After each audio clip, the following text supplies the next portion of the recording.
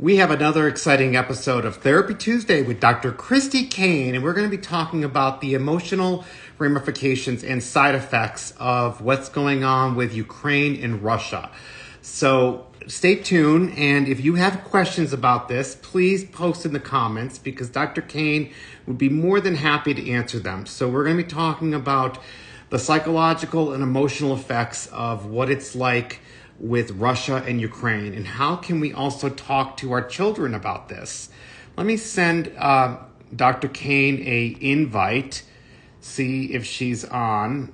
Dr. Kane, K, give me up. Okay, invite, and she should be on momentarily. So if you guys have questions about what's going on in Russia or Ukraine, now is your opportunity. Hey, Dr. Kane, it's great to be seen. It's good to be seen. Yes. How are you? Yes. Um, no, thank you for this. I know um, we are a few hours late at going live, but you had a lot of patients to see. Yep. And I want to thank you for this topic because I know it's weighing on a lot of people.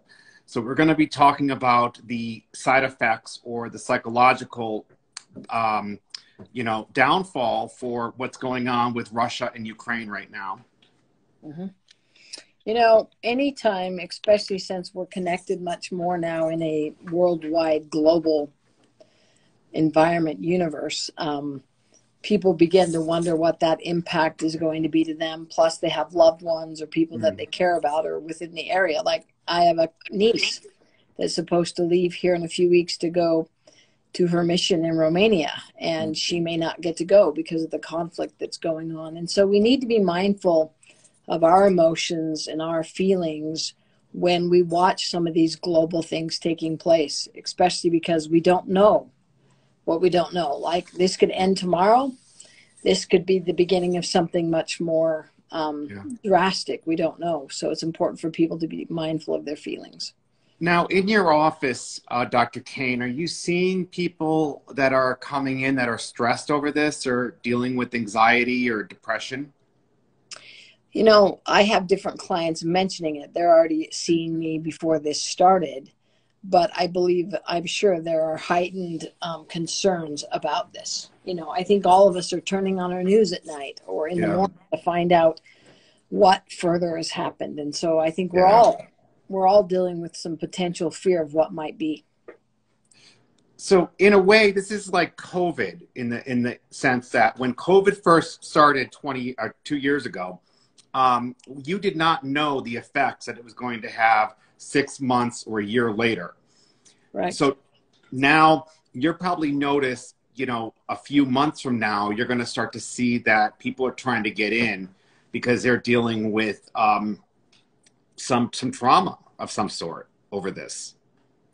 We will, and the longer this goes on, and the more potential involvement many nations can have, the more individuals that people know in those areas lives are disrupted, the more impact that's going to happen.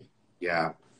Now, our mutual friend Neil um, actually had a really good question for this. He said, What's a good way for parents to talk to their children about this? Honesty about everything that's going on because the kids are seeing it in school and hearing conversations. So don't say, mm. well, you don't need to worry about that because that doesn't help. They're going to worry anyways. The more information we can provide according to age level, the more mm. anxiety we can um, stop, if you will.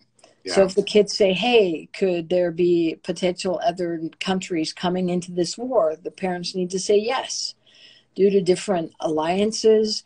That's a strong possibility.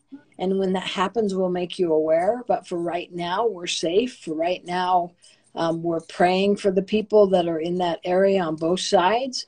And so it's it's those kind of conversations. Most definitely don't ignore the conversation because then it's kind of like when kids are afraid of the dark if you yeah. just tell them, oh, just go to bed, they'll lay awake, imagining there's every monster in the closet possible. But if you open the closet and show them there's nothing there, then they can calm down. Yeah. Yeah.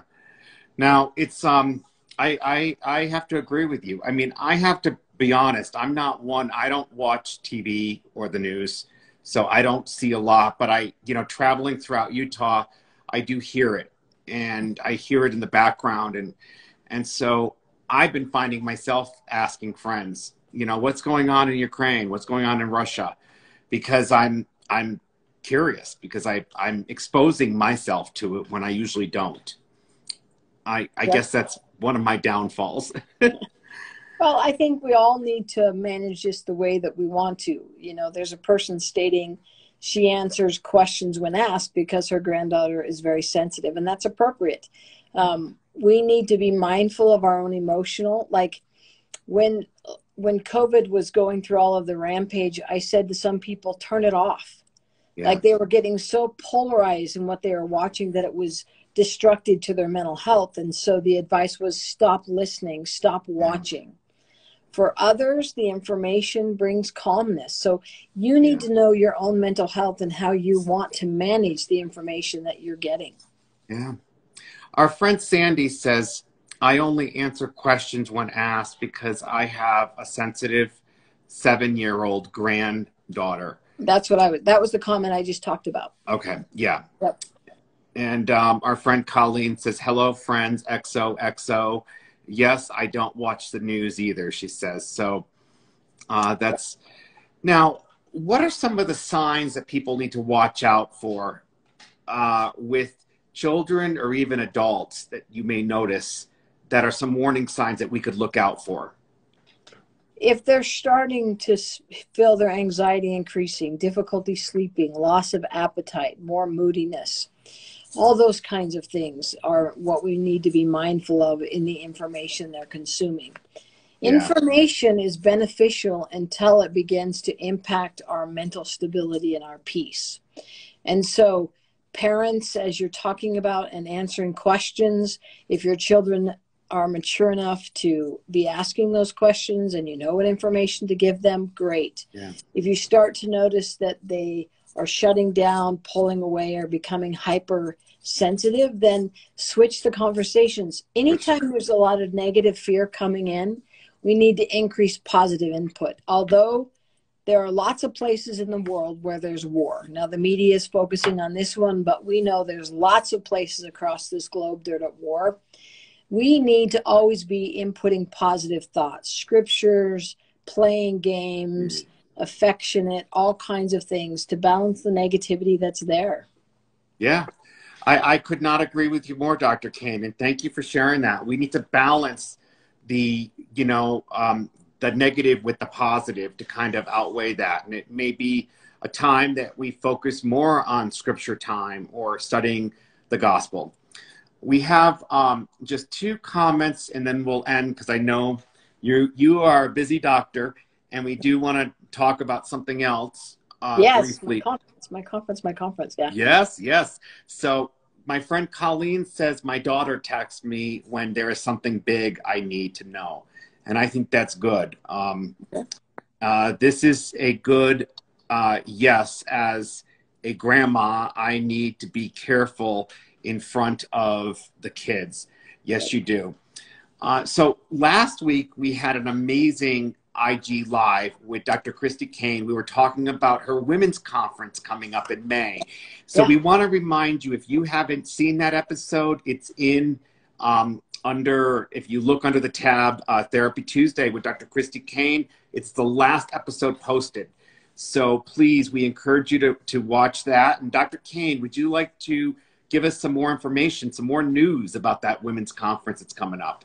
Yeah, well, we're so excited about this. You know, Dennis, just this past weekend, I spoke at the first um, ever BYU um, Life After Divorce conference and uh, there, it was amazing. So many people needed that conference, and they covered such great topics. And so, this women's conference called Find Your Voice Conference is covering really in depth, needed mental health topics for women of all ages.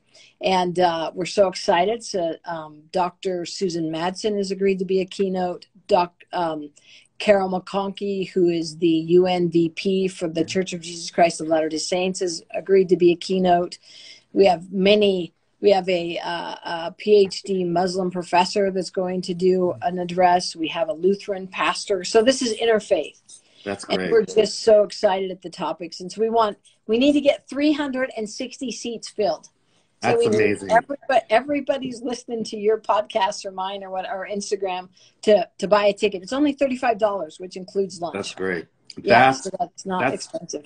That I mean, you can't go out for lunch for that amount, so that's amazing. no, um, and you're going to get to meet all the authors and all the speakers, so we're excited. And I can testify about what I know about you, and you're an awesome doctor and clinical psychologist. And and um, Sister Carol McConkie, I can testify. I met her and her daughter and her husband back mm-hmm. in June. So great people to be around. You don't want to miss this. Nope. Thank you. So, We're excited. So excellent. Join, join us. Join us. It'll be in join Utah. Us, yes. People coming from all over to attend. So come. That's awesome. So, Dr. Christy Kane, until next week, um, please join us for Therapy Tuesday with Dr. Christy Kane every week. And good. if you didn't catch this whole episode talking about Ukraine and Russia with Dr. Christy Kane, it will be saved in about 10 minutes on IGTV. So just give us some time to save it, title it, and upload it. Great. Sounds good. All right, Dennis. That's great. Look forward to next Tuesday. Okay. Will do. Thank you, guys.